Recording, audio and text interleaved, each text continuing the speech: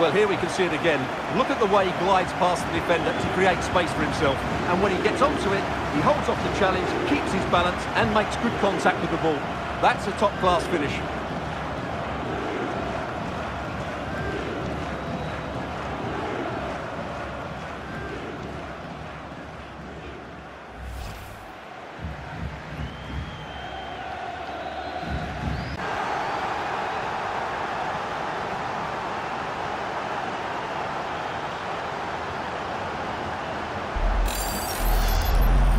Well, we won't get tired of seeing this, will we? Because that struck so sweetly. He really does surprise everybody here, not least the keeper.